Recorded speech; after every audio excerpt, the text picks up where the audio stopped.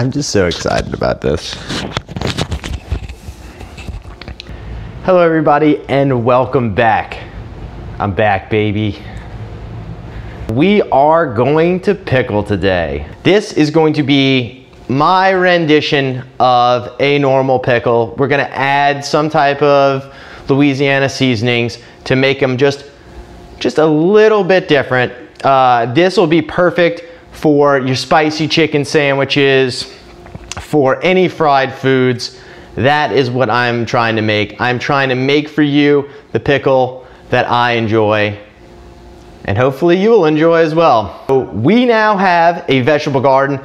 So, so stoked about it. We've got tomatoes on the way, squash, zucchini, I started growing some other herbs. I use a ton of cilantro in all my foods. We are going to try to use as much home source produce as possible. But as soon as that happens, I will have a recipe cooking up my homegrown vegetables. Thank y'all for following. Thank y'all for watching. Uh, if you get a chance, hit that like button, subscribe. It helps out greatly for the algorithm. Let's get the pickling, baby yes.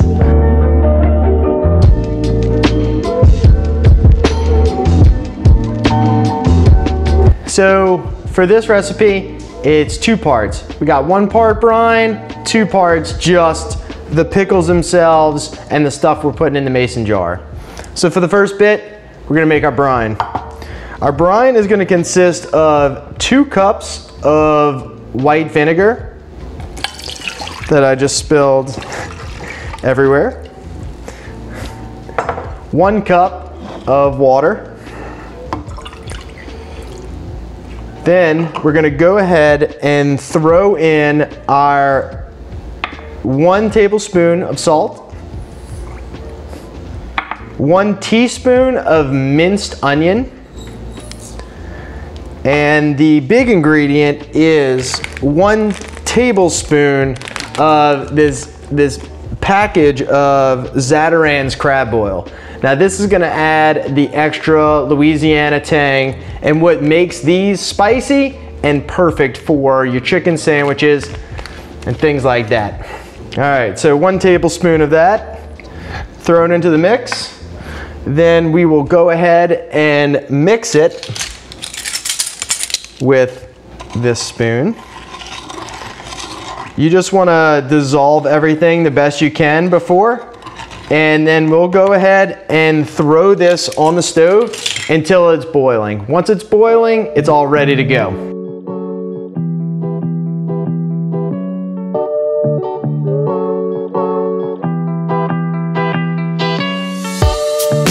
Now that we got the brine over there starting to boil, we can go ahead and prep everything that we're gonna throw into our mason jar. So for this recipe, it calls for about four to six pickling, um, pickling cucumbers. I'm using these English pickling cucumbers. And what I'm gonna do first off is just cut off the edges, throw those in the compost. And we want thin, eighth of an inch thick pickles. Uh, you want them as even as possible and you also don't want them to get fat. Uh, fat ones are not gonna soak in the vinegar the, the way the rest are going to. So we'll just go ahead and chop these up.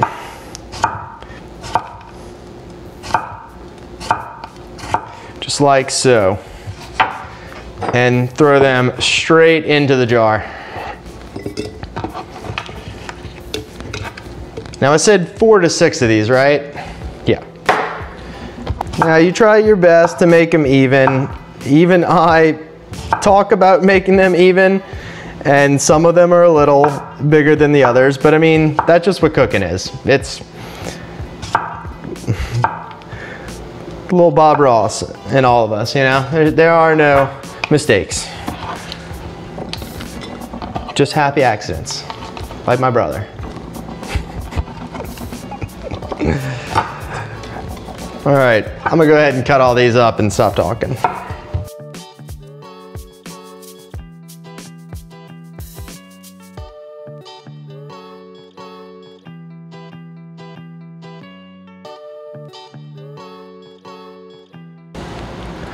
Uh-oh, I threw a, threw a butt piece in there. All right, so maybe one more.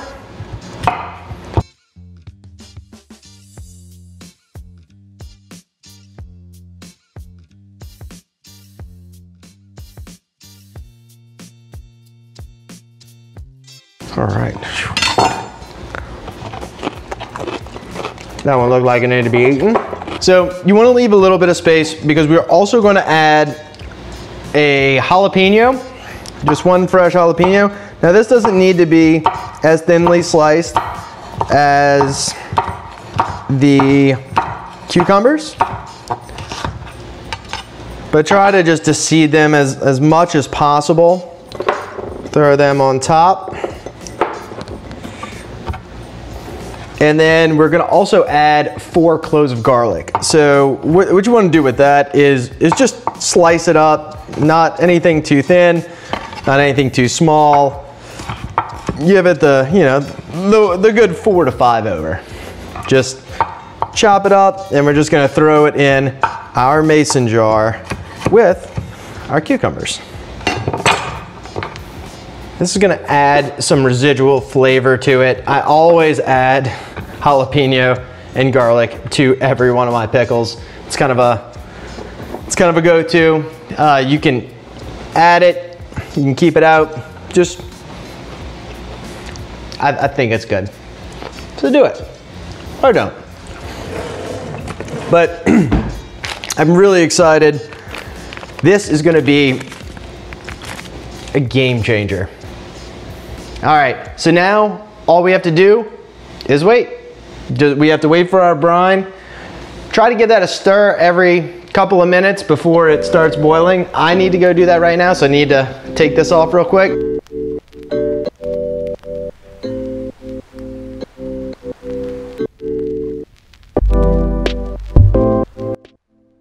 Ka-chow! All right, so our brine finally came to a boil. We have that right here. What I did was I grabbed a big pot. Um, this is trick of the trade. I grabbed the pot here, and what we're gonna do is throw our mason jar in it to catch all the absolute spillage that's gonna happen here.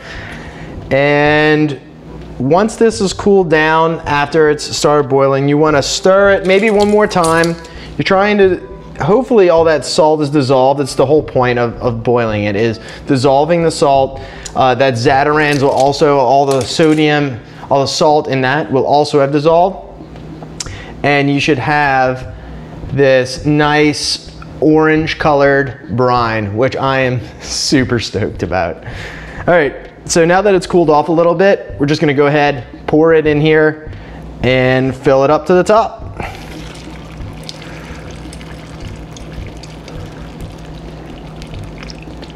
Whew. Yes, sir. With a little despair. That should be as, as tall as it needs to be, as filled.